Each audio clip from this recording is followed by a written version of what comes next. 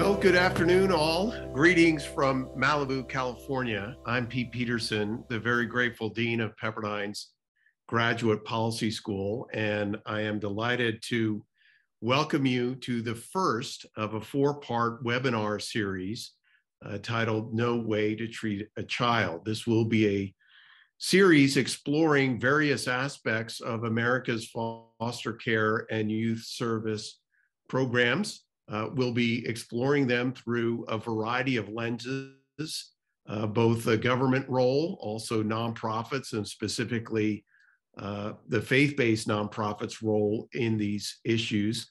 Uh, and today, uh, for session one, you see the title of this session What is Child Maltreatment and How Should Government Respond to It? Uh, for this and each of the four sessions, I'm delighted uh, to be working with Naomi Schaefer Riley. I will pass the baton to her in a second. Um, but this series is based very much on her uh, very important book that I hope if you haven't picked it up, uh, you consider doing so, also titled No Way to Treat a Child. Uh, at the School of Public Policy, we very much are focused on preparing the next generation of leaders for both the government and nonprofit sectors. And certainly a large number of our students are going into um, the work at the local level in cities and counties and working on issues like foster care and youth services. And as you'll all know and come to understand, maybe in some new ways over the course of these next few months, uh, this is an area that all Americans should be deeply concerned about. It's one that uniquely uh, engages each one of our major sectors, uh, including government, nonprofits, as well as the private sector. But it's also very much one that uh, is of deep concern here to the policy school, concerned as we are with how public policy impacts uh, what the Bible would call the least of these. And that is certainly the case uh, in our foster care and youth services programs. I'll introduce uh, today's uh, speaker, again, who will be interviewed by Naomi, uh, Dr. Sarah Font. Sarah is an associate professor of sociology and public policy at Penn State University. Uh, her research assesses the outcomes of children who experience abuse and neglect and the efficacy of the child welfare system in preventing re-victimization and adverse health and development outcomes. Uh, we'll be sending along a link to her work uh, in uh, following up on this particular session, so you'll get a chance to learn more about her work. And of course, uh, Naomi Schaefer Riley uh, will be leading this and each of these uh, four sessions here as part of this series. She is a resident fellow at the American Enterprise Institute and focuses on issues of child welfare as well as uh, a senior fellow at IWF. She has written widely about parenting, higher education, religion, philanthropy, and culture. Uh, former columnist for the New York Post, uh, wrote the book Till Faith Do Us Part How Interfaith Marriage is Transforming America uh, but her writing is uh, seen and read widely uh, from the Wall Street Journal to the New York Times, uh, the Boston Globe, and LA Times. And uh, it, this series also originated on a talk that she gave here on campus back in January, in which we interviewed a couple people who are working on these issues here in Los Angeles County. And that conversation and that event prompted Naomi and I uh, talking about creating a more in depth series in which uh, Naomi would introduce us to the many experts and policymakers she's been working with uh, in the course of uh, publishing and writing her very important book. So I know that you're going to learn a lot from this session, but again, know that this is just the first of a four part monthly series that we'll be uh, hosting over the course of the fall semester here. And so without any further ado, uh, Naomi, I'll turn it over to you back east. Thank you so much, Dean Peterson. I am so excited to be able to do this. And um, I just want to thank all of you who have tuned in today. Um, the topic that we're going to talk about today usually only sparks the interest of policymakers uh, when there's some kind of high profile tragedy, a child fatality, uh, when there's a class action lawsuit uh, or when people are arguing over the budgets for child welfare departments. Um, but I think that uh, it's useful to, to think about these issues um, outside of sort of those high profile and sometimes emergency situations. Um, I hope that today, by having more uh, policymakers, journalists, and just citizens really understand the risks to children uh, from maltreatment, that we can do a better job of creating and reforming these systems, both on the local and the federal level. Um, so I'm so excited that uh, Sarah Font has joined me here today. Just a, a quick note, uh, Sarah is a member of the working group uh, on child welfare that I have at the American Enterprise Institute. Um, it's a bipartisan group of folks who are former agency heads, judges, uh, folks who are academic researchers and nonprofit leaders. And we get together a couple times a year to talk about the, the most vexing issues in child welfare. And we also uh, sometimes put out policy papers on that as well. So uh, Sarah is one of the workhorses of the group, and I'm excited that she has agreed to join me here today. Um, I want to start by asking you, Sarah, if you can describe the scope of the problem that we're talking about here. Um, there are about 73 million children in the United States today. How many of them are at risk for maltreatment, and what exactly are they at risk for? Sure. So, uh, according to recent federal estimates, uh, nearly 8 million children a year are referred to Child Protective Services. A lot of those cases don't get investigated for various reasons, and only about uh, a little under 700,000 children each year are officially determined to be victims of maltreatment. And what that means is that an investigator has gone out and found evidence that they think is sufficient to say this child has been victimized under um, you know, the specific state statute that defines abuse and neglect. Um, but if we look across the life course, what we actually know is that a lot more children are exposed to maltreatment. Um, about a third of children uh, in the course of their lifetime will be investigated by CPS, which sounds like a massive number, and it is. Um, but it also is not super out of line with what we know from survey data in terms of how many children report that they've been physically abused, sexually abused, or neglected. So we do have a massive problem with child maltreatment, and um, a lot of those cases are not uh, going to get accurately labeled as maltreatment at the time it happened by CPS. Mm. Who, who is reporting them for maltreatment? We have, uh, you know, most states have laws about mandated reporters. So those are people who are like teachers or social workers or police officers where are most of the reports coming in from? Um, you know, who is who is calling uh, CPS, and are they just calling CPS? Are they calling the police? How are the reports originally uh, initially coming into our systems?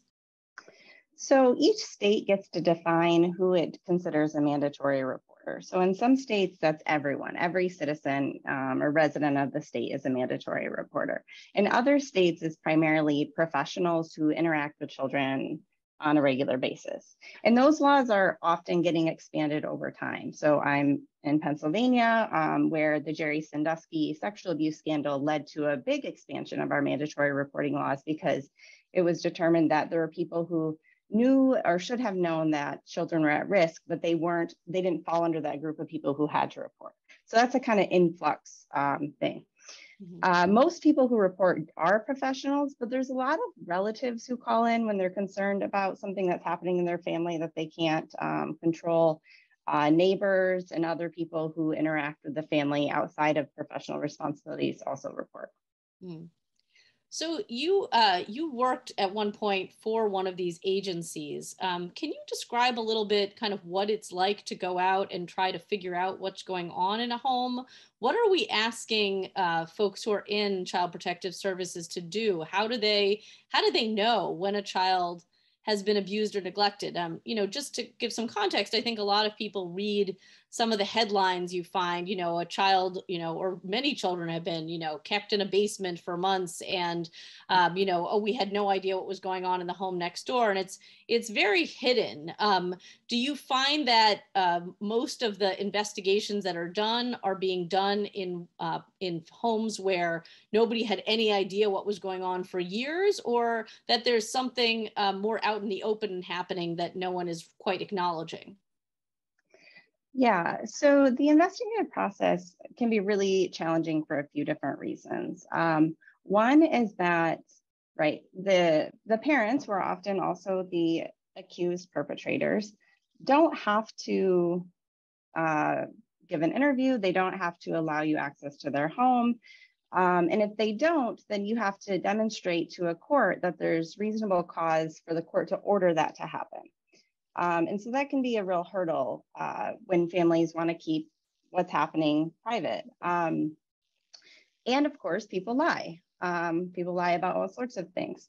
So discerning who's telling the truth and who's not can be very challenging, especially when um, the child victim is either too young to tell you themselves what has happened or not happened, or um, a lot of times we're talking about children who have significant disabilities and um, they also have difficulty communicating what what they've experienced.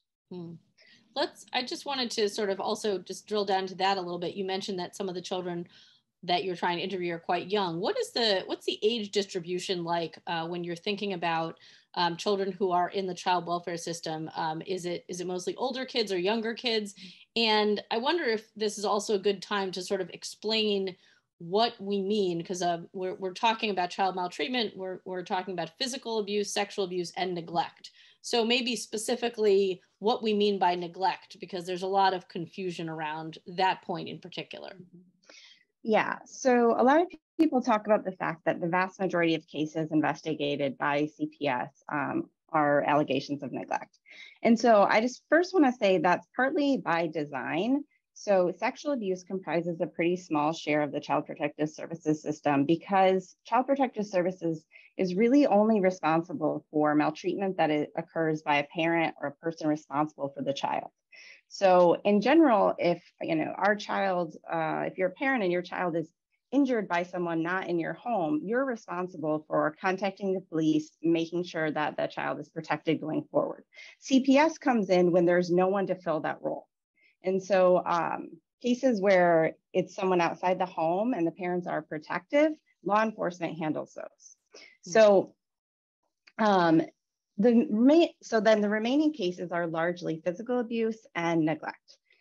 And neglect uh, can be a couple different things, um, but the basic idea is a child has been neglected when they are not provided with minimally adequate care.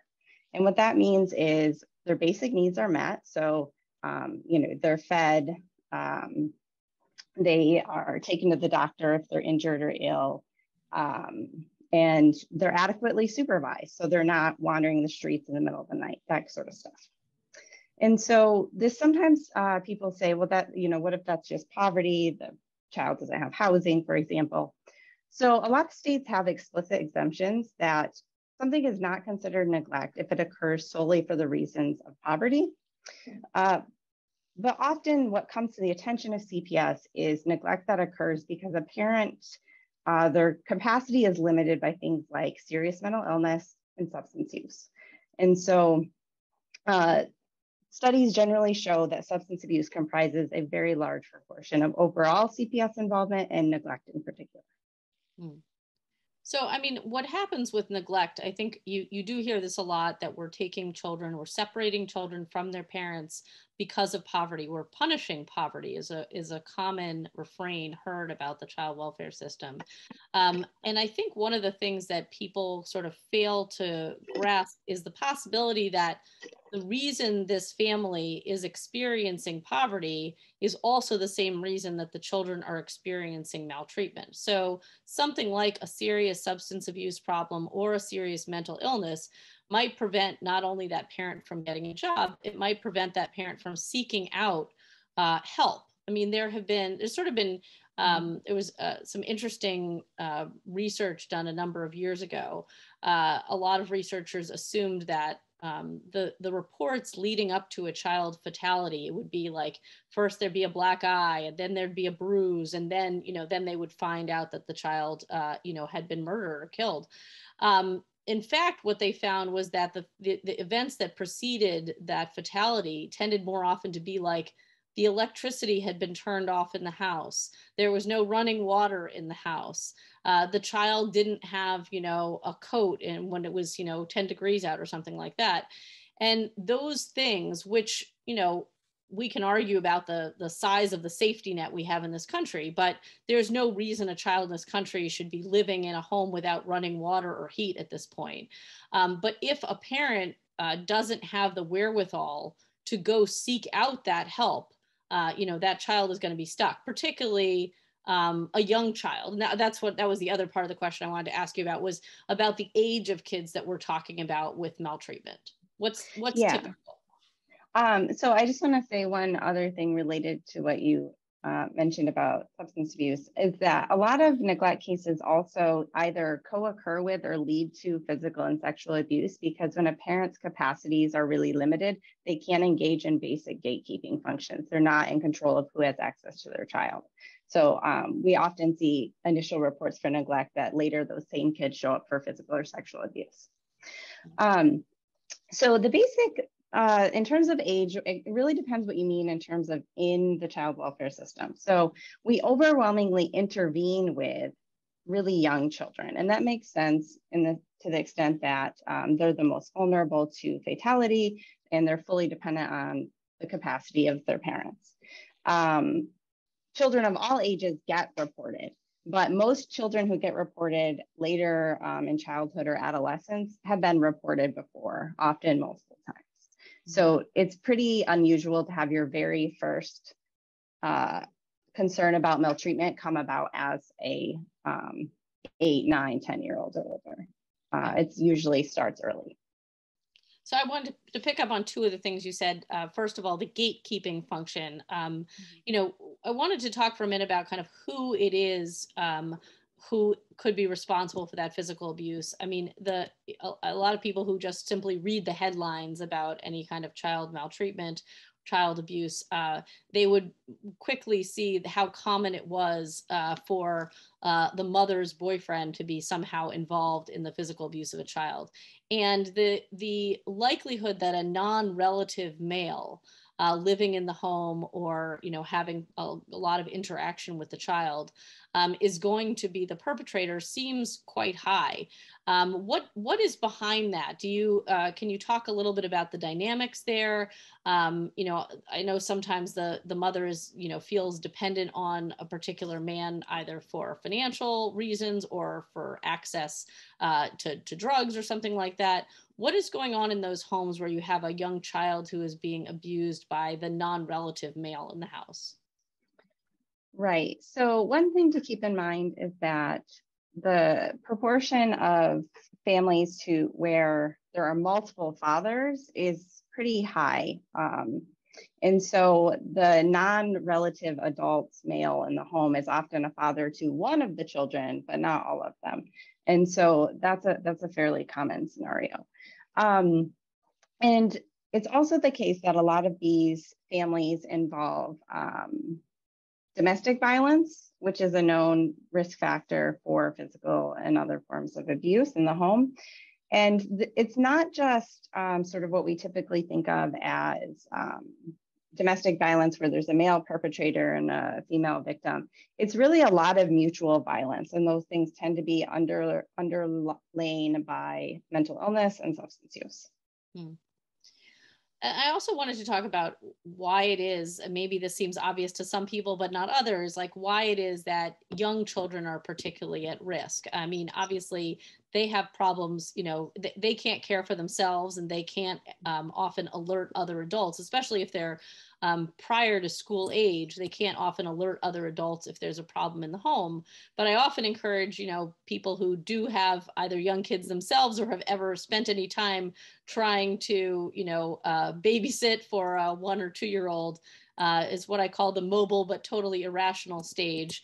uh, where kids are, you know, uh, trying to touch a hot stove or run into traffic or, you know, swallow their siblings' Legos, and how difficult it is, even as a perfectly sober person, to try to monitor that, and how much substance abuse can really interfere with that. I was wondering if you could sort of talk about. We seem to sort of be in a shift in this country toward a, a sense that um, drugs are not a big deal um, and uh, and why it is that even if they're not a big deal for uh, at least some drugs may not be a big deal for adults um, why it is that drugs seem to have such a significant impact on the child welfare system mm-hmm. yeah so i think there's a couple of relevant factors here uh, so one is that um, if you're a person already of limited means your your drug habit is going to eat up a lot of the resources that you need to take care of your children. And so there's a diversion of resources that happens that can lead to children being inappropriate care, inappropriately cared for. The other factor is a lot of the parents with child welfare system involvement have either very limited or very inappropriate social networks. So if they um, you know are having whatever issue there's not always a safe person that they're that can help them out. There's no one to go to to say, I need a night off, take my kids, um, in the way that a lot of parents rely on relatives, friends, neighbors. Um, that doesn't exist for a lot of uh, these parents. Mm. The other thing to consider is that substance use, right, has a hereditary component, so it's intergenerational. Um, so children who are raised by people with serious addiction problems have often experienced maltreatment themselves, um, which is a risk factor for then initiating substance use. Um, and so there's a cyclical aspect to that as well, um, where uh, people who are most likely to fall victim to addiction are also um, themselves traumatized and have a lot of other co-occurring issues. Hmm. I just wanted to take a quick minute here to say that um, starting at about uh, in about 15 or 20 minutes, uh, Sarah and I are going to take a quick break to hear questions from you. Um, we'd like to spend the last 15 or 20 minutes of our time together questions from you. So if you do have questions, please put them into the chat and we will get to them in a little bit. Um, the, ne the next thing that I want to talk about a little bit, Sarah, um, is the idea of the kids who are uh, removed from their homes. Like, let's talk mm-hmm. about kind of what it is that actually um, prompts a child to be removed from their home um, and put into the foster care system. Um, and a little bit about the characteristics of those kids, like how how long are they staying there, um, and what do they have to do to get back with their parents? Um, you know, uh, is is there some plan for rehabilitating parents? Like how how does the the kind of the next step work? You know, once we've decided something is seriously wrong, um, what what what is behind the removals of children from their homes? Mm-hmm. So, uh, well, so I mentioned earlier that about 8 million children are referred to CPS each year. About 250,000 enter foster care. So it's a pretty small share of that overall group that we might consider to be potentially at risk of maltreatment and experiencing then removal from the home. And the children who are removed are overwhelmingly young. Uh, so about half are under the age of five. And uh, again, it kind of looks similar to the overall picture of maltreatment. It's um, largely for neglect, and um, a lot of it's about substance use. I'll note that the federal numbers on the percentage of children removed where their parents have serious substance use problems is totally inaccurate and undercounted. And there's we've known for decades, based on various government reports, that it's probably about 80% of kids coming into foster care have parents who have addiction issues. Yeah. Um, so how long they stay depends very extensively on where they live. Um, so states are supposed to prioritize moving children into permanent living arrangements quickly um, under the Federal Adoption and Safe Families Act, but not all states do, and there's not a lot of enforcement there. Um, if you enter foster care in Illinois, you are going to stay for a long time. If you enter foster care in Utah, you're going to be out pretty quickly. So there's a lot of variation there, and it depends to reunification tends to happen more quickly. Um, about two thirds of reunifications happen within 12 months. Adoptions can drag out. Um, partly because states don't look for adoptive families as quickly as we might want them to, and also because um, the scheduling for TPR, termination of parental rights hearings, which is a prerequisite to adoption, um, tends to be heavily delayed by the courts or agencies. Yeah. Well, we should give people a little bit of an overview of kind of uh, how the child welfare system is set up. Um, it's largely run by states, sometimes run by individual counties. Mm-hmm. Um, and about a half of the money for child welfare is coming from the federal government. There are some federal laws that dictate um, how child welfare is supposed to be done, but as Sarah said, there is not a great deal of enforcement, and there are there are a lot of reasons for that. I mean, nobody wants to be in the position of saying um, we're going to withhold money from your state foster care system because you did not follow these federal laws because then you look like you're withholding money from foster kids and that is not a good look for any politician. Um, but there are other reasons too. I mean states are uh, are kind of all over the place in terms of the reporting that they're doing to the federal government and we're relying on states to tell us, uh, you know, how many kids they have in the foster care system, uh, how long they've been there. Um, that we're relying on them to tell us, you know, how many of these cases involve substance abuse, how many involve mental illness, and every state kind of has a different way of counting these things, um, and so it it leads to a lot of uh, bad data coming uh, into the federal government, um, and then a lot of difficulty sort of enforcing uh, any of the laws that are on the books. Um, so you mentioned the Adoption Safe Families Act. I should just say for people who are not familiar with it, it was passed um, in the 1990s uh, by a bipartisan Congress. Um, and the concern at the time was that kids were languishing in foster care for far too long um, and that they did not have any exit to permanency, either reunification um, or adoption uh, as, as a way out. Um, and so these legislators uh, really decided that we need to limit the amount of time kids spend in the system in this kind of um, uh, kind of holding pattern that they were in. And uh, so the, the law now says basically, um, you know, with a couple of caveats, that if a child has been in foster care for 15 out of the last 22 months, the state is supposed to move toward the termination of parental rights. Um, and as Sarah said, uh, that does not happen very often uh, in a lot of states. Um, I wanted to just sort of turn next to um, the question of, uh, you know, we're going to get into this actually with our next session, which is with uh, Ronald Richter. He's a former family court judge and former head of ACS.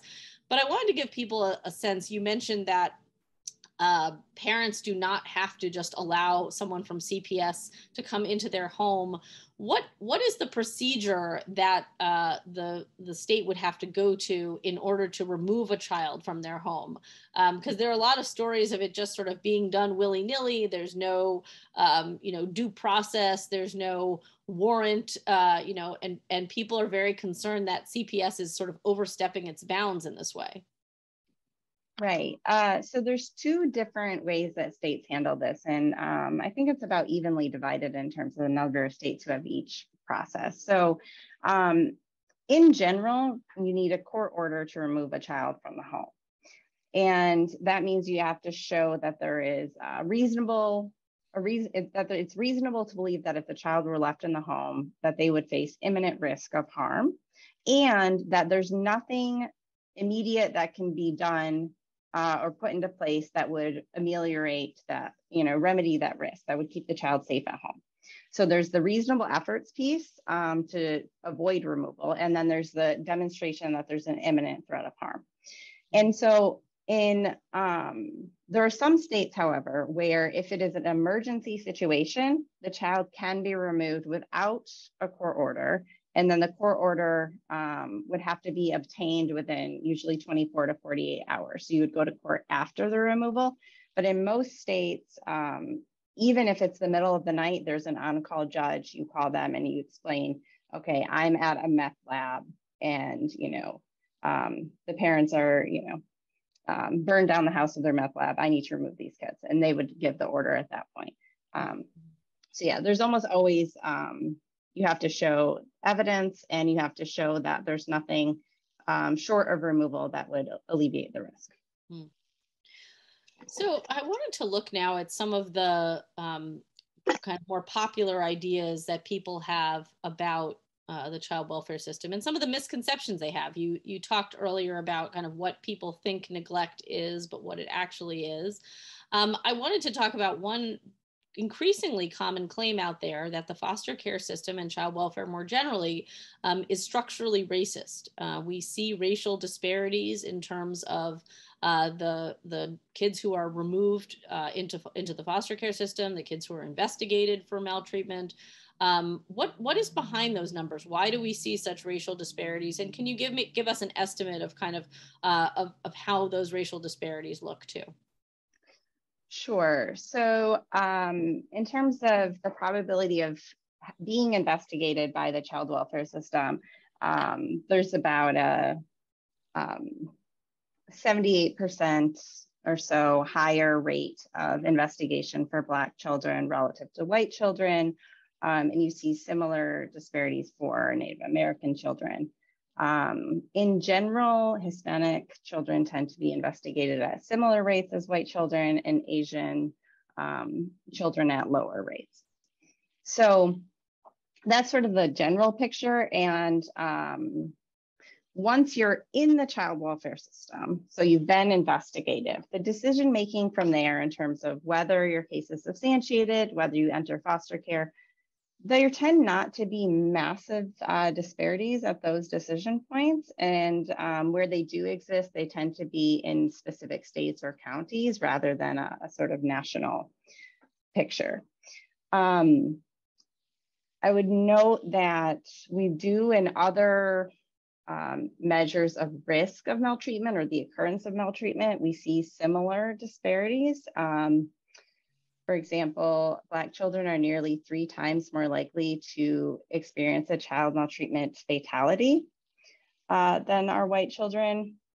And um, other estimates, um, for example, the National Incidence Studies, which try to get a overall sense of how many children are maltreated, regardless of whether they come to the attention of child welfare, tends to find um, similar gaps in the occurrence of maltreatment. Mm. So, I mean, uh, you know, just to, to re- repeat a little bit what you said and then sort of dig a little further. So, what you're saying is that the child welfare agencies are investigating the reports that they're getting, and Black children tend to experience maltreatment at a higher rate. Uh, than than white children do. So can you can we talk a little bit about why that is? We we talked a few minutes ago about this question of of family structure um, that uh, it, it does matter kind of who is living in the home with you. If you have um, a single mother and a non-relative male who's living in the house, uh, that that is a risk factor. Um, what what are the other risk factors that you think might be leading to a higher rate of maltreatment for Black children? Um, yeah, so family structure is certainly one. Um, having a teen parent is another um, having a parent who is or is at risk of being incarcerated is another. Um, and then outside of parental behaviors, um, there are also environmental factors that matter here. So, um, for example, if I live in a really dangerous neighborhood, I can't leave my child alone outside to play in the same way I can if I live in a neighborhood with a fenced in backyard and um, that's generally safe. So there are there are structural barriers to child safety that are going to vary by racial group because of things like poverty. Um, so.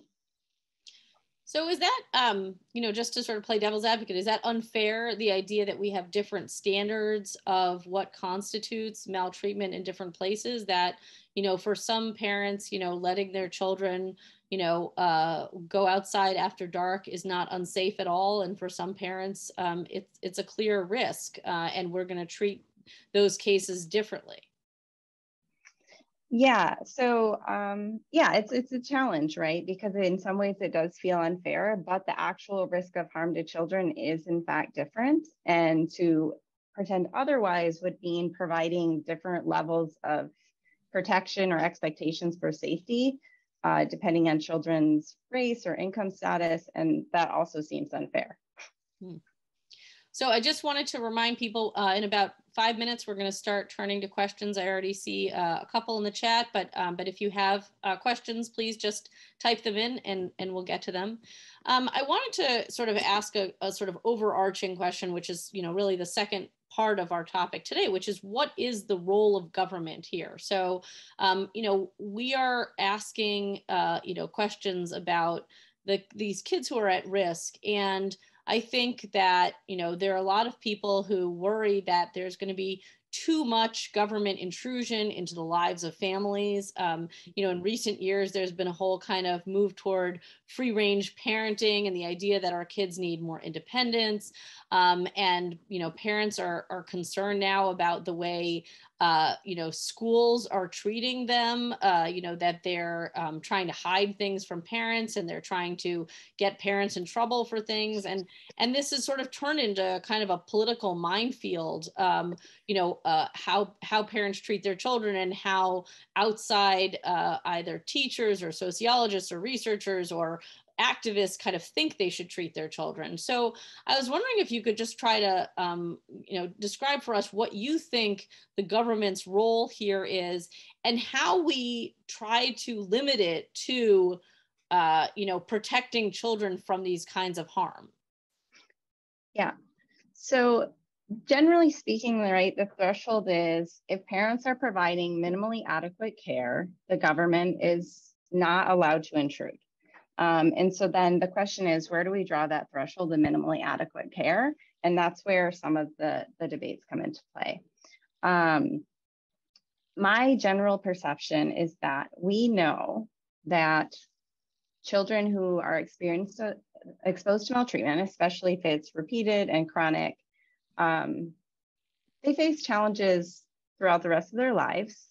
They, when they have children, they face lots of challenges in parenting, and it's an intergenerational problem. So there has to be some room for government to step in and say, let's try to break the cycle, uh, whatever that looks like. And ideally, you can do that with the parents' cooperation, um, but that's just not always the case. It's not realistic. And we know um, from lots of studies that even when we have evidence based interventions that are supposed to improve child safety, parents decline at very high rates, or they don't finish them, or they don't work. Well, that's that's another sort of big buzzword right now is the idea that we can engage in prevention efforts and that kids will remain, uh, you know, in their homes and you know uh, in a in a um, supervised if you know environment somehow if we provide parents with enough of these um, training programs, um, whether it's anger management or parenting classes um, or addiction treatment. Um, just this is the last thing, and then I'm going to turn it turn to the questions in the chat. What do you see as the efficacy of some of these programs? Um, do you think we have a good chance at prevention um, if we if we catch uh, you know because obviously you know we're offering these programs typically to parents who've already been reported for maltreating their their children. So what what is your um, what is your sense of the likelihood of success of those kinds of programs?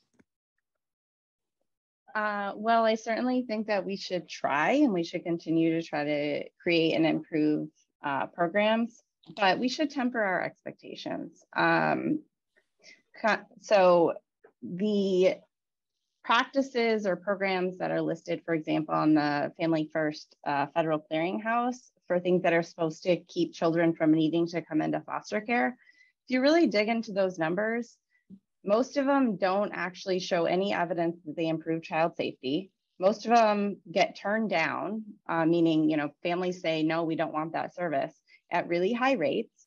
Um, and the effect sizes are very small. So um, we should we should try those things certainly because that's the structure of our system is that we want to avoid intrusion um, in family life to the extent possible.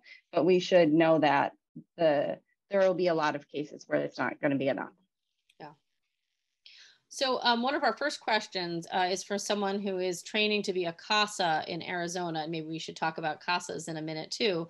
Um, but this person is asking um, about services for youth who are quote unquote graduating from the program or from foster, foster care, um, uh, saying that they're limited. Uh, will you please speak to this challenge as young adults attempt to take on life responsibilities on their own after living in foster care environments. So um, just for those of you kind of uh, who are not as familiar with the child welfare system, uh, CASA stands for Court Appointed Special Advocate. Um, those are folks who are um, supposed to really represent the, um, uh, the best interests of the child in court. Uh, they're specifically often tasked by the judge with going to see the child on a regular, sometimes weekly basis, finding out what, what it's like living at home with them, uh, you know, what, what the different adults in their lives are doing. Um, and uh, anyway, so thank you for volunteering as a CASA. Um, and in terms of the question of youth who are graduating or what we call aging out in the system, um, you know, Sarah, could you talk a little bit about kind of what what are the prospects for those young people? A lot of states have recently added years uh, to the amount of time that kids can remain in care and continue to receive, uh, you know, financial benefits and um, and education uh, and other benefits through the foster care system. But many youth obviously are so sick of the system by the time they get to be 17 or 18 that they want out of it. Um, so can you can you talk about um, you know what are the what are the prospects for youth aging out? Yeah, so let me say a couple of things. Um, one is that aging out is relatively rare. Um, the vast majority of youth who age out of care entered foster care as teenagers. And because they entered as teenagers, they often have the least supportive foster care environments. They're more likely to be in group care. Um, they have a much longer history of trauma um, that needs to be, um, you know, treated and supported. You know, their healing supported before they get to the point that they're aging out. So the best thing that CASAs can really do is push that before they get to the point they're aging out um, to try to focus on things like placement stability, having permanent connections, ideally with um, parent figures, and um, you know, addressing their mental health needs before they reach 18. Um, at 18, right, they can stay in the system if they are engaged in education or work in the vast majority of states.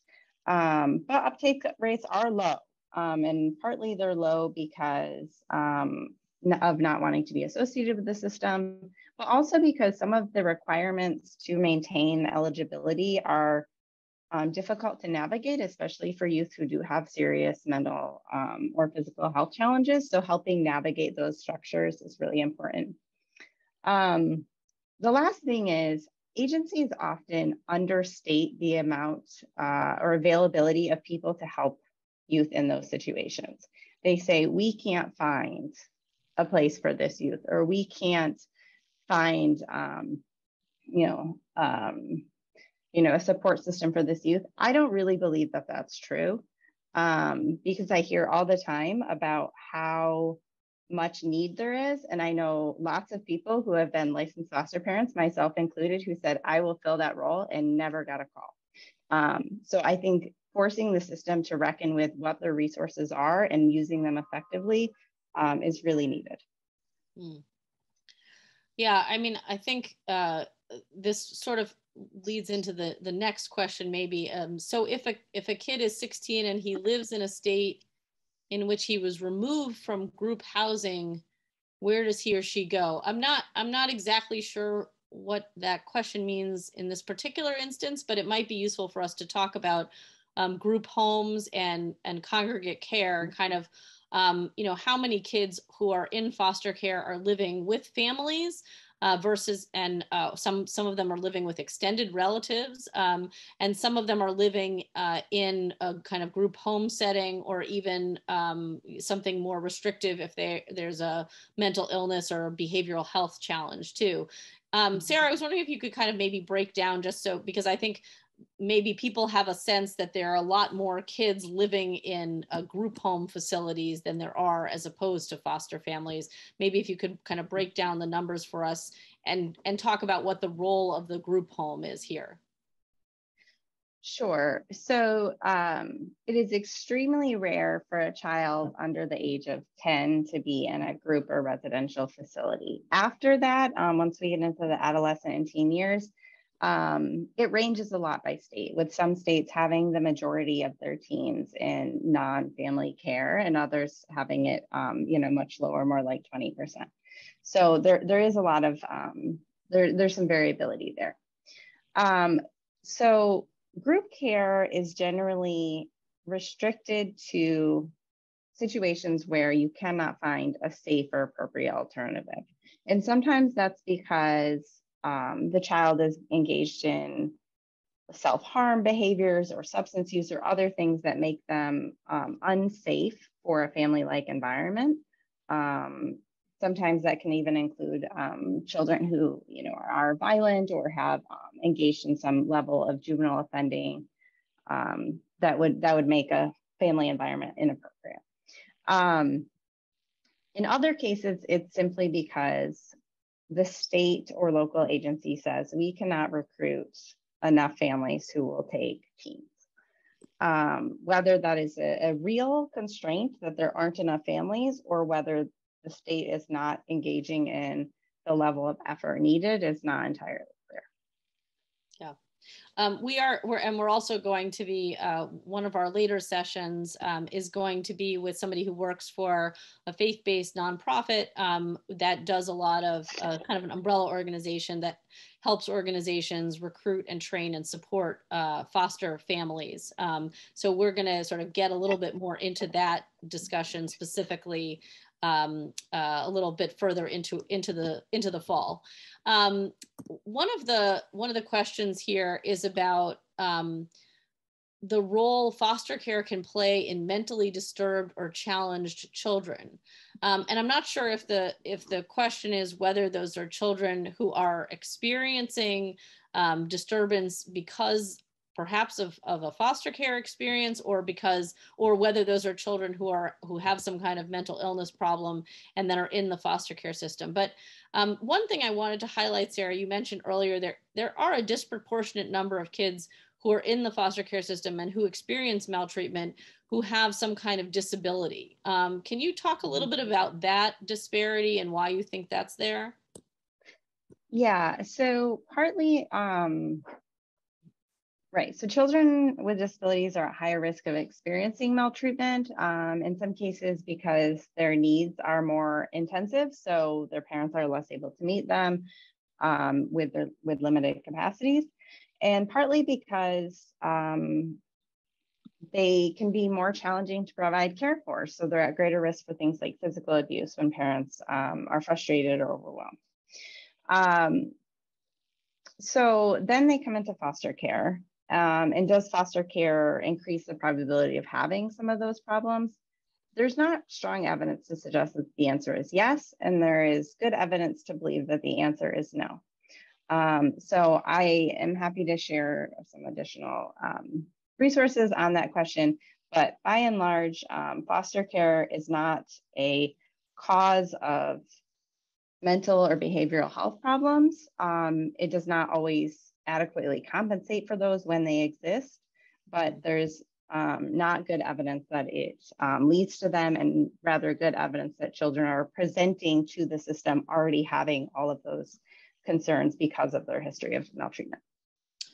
Yeah, I think more broadly, I think that's an important point. I think people read a lot of uh, articles about the outcomes of kids in foster care, whether it's um, you know lower rates of high school graduation or rates of employment um, or uh, you know a higher level of experience of some kind of um, sex trafficking or other kind of victimization, um, and they assume that it is the foster care system that is to blame for those um, disturbing outcomes. Um, but it does not take account of the fact that those kids have often experienced years of maltreatment before the foster care system even entered their lives or before they entered the foster care system.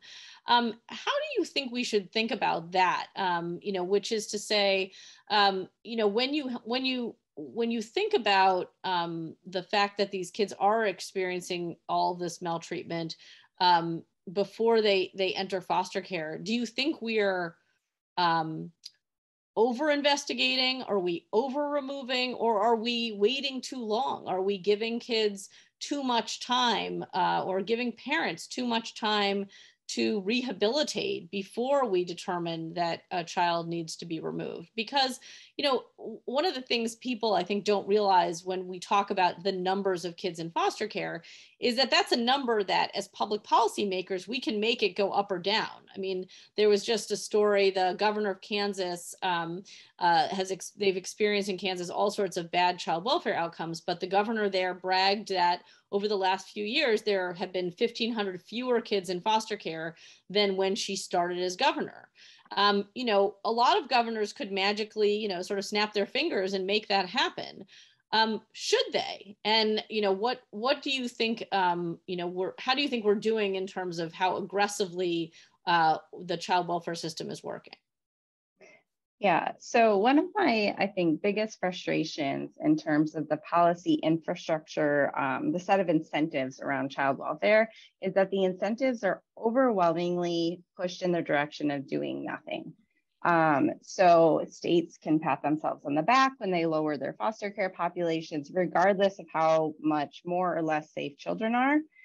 And um, there's a lot of reasons that they would do this. Um, when you bring a child into foster care, you assume all of the right responsibilities for care of that child. Um, and states can and often are sued when they fail to provide that level of care. But if you go into a home and you say, I'm going to ignore everything that's happening here and the state does not take custody, no one can turn around and sue the state for failing that child. They can only sue the state for failing a child that they have taken custody of. So the incentives to do nothing are massive. Um, and so um, for that reason, right, we do often wait too long to intervene, I think. Um, and I've seen this both in practice, and I think you see this in the data when you see children coming into foster care who have had, you know, three, four, five prior investigations um, since birth, basically, and now they're 10, and, um, you know, they have pretty significant challenges at that point. Mm-hmm. Um, yeah. So there's a, another, another question here that um, it seems quite specific, but let me broaden it a little bit um, about the, the continued contact of children who have been adopted by another family uh, with a birth parent. Um, uh, do you think that it's best for continued contact to happen? And by the way, I mean, um, you know there there is uh, you know our society has sort of trended much more in the direction obviously of open adoption. And you know many of these kids you know know who they're even if they were adopted at a young age like they'll they'll know who their parents are. Um, what do you think about the role of kind of continued contact uh, in these relationships? Uh, i think it depends. Uh, and So there are certainly scenarios where an open adoption is going to be appropriate. And because the reality is that there are parents who acknowledge that they are not capable of providing a safe or appropriate life for a child, but they're appropriate and safe to the extent of being um, involved with the child's life in some way. So um, sometimes this is the case with parents who have serious um, mental illness uh, or a serious intellectual disability, for example, they're not able to provide the full parent um, parenting that a child needs, but they can still be involved. They're not a danger to the child to visit, right? Uh, so in those cases, that can be um, meaningful for the child. It can help them um, stay connected to their origins, all of those things. Um, and in other cases, it's just really not appropriate. Um, the parent, um, you know, can continue to be engaged in activities that put the child at risk, um, crime, uh, drugs, etc. And in those cases, it's not appropriate. In other cases, the parent is so unreliable um, that it's emotionally damaging to the child. So um, the parent says they'll show up and they don't. They say they show up and they don't um, those sort of situations, it's appropriate for the adoptive parents to say, this is, this is not, this is not helpful. Um, so certainly the policies that are attempting to force adoptive parents into some sort of lower tier of parenthood where they have to have those ongoing connections is totally, uh, in my view, totally inappropriate. Yeah, there was a um, New York State recently considered a law like that, and both uh, houses of our legislature actually passed it. The governor vetoed it. But um, but I think it definitely gave people pause. Uh, you know, if you again, you know, sort of yeah, make adoptive parents kind of a lower level of parenting that these other people now have um, influence over the lives of their children. They don't get to say who it is um, or or how that happens. Um, there, there is a question here that probably is a good question for us to end on. I don't know whether it's directed toward you or me, but uh, how did you get into this line of work? Just curious. So um, I'll, I'll let you go first, and then and then I'll offer my uh, my explanation. Sure. Uh, so I finished my master's in social work in uh, 2008 and I lived in Michigan at the time. And Michigan had just settled a massive class action lawsuit or was in the process of doing so uh, with their child welfare system, and they had to hire 500 new caseworkers. Um, so I ended up being one of those caseworkers. And uh, once I got into the system, um, it was like banging my head against the wall every day. Um, and knowing that this cannot be the best that we can do for kids. Um, so then I went back to school, got my PhD, and uh, have been trying to figure out how to uh, fix that ever since. Wow. Uh, well, I um, I sort of have had a number of other uh, things that I've done research on. Uh, this has always been in the back of my mind for a long time. But uh, one of the books I wrote before this was actually about American Indians. Um, and for those of you who don't know, American Indians have some of the worst child welfare outcomes in the country, um, uh, highest rates of um, physical and sexual abuse, uh, substance abuse on uh, reservations and other Indian territories is very hard um, uh, to even quantify, but it's it's very widespread. And um, and then there's also just a not enough um, responsible adults in some of these communities to care for kids who need to be in foster care or need to be adopted. Um, and so just sort of researching that made me wonder kind of what the rest of the system looked like. Um, hoping that it was better. Uh, alas, in many cases, it was not. Um, but I, uh, I then went to um, the American Enterprise Institute and I said, I really think that someone should be uh, doing some work on this. Um, uh, from a conservative perspective, I, I was disappointed to see that uh, the only folks who are at the table discussing these things in a public policy setting uh, were were people on on the left. Not that I, you know, I, I think that we should be able to come together on these issues, um, but I, I thought the right had kind of um, I don't know, uh, sort of fallen away from its responsibility here. I think a lot of people thought, you know, this is the result of a lot of drug abuse and a lot of family breakdown, um, which I think is very true, but also totally insufficient as a public policy answer.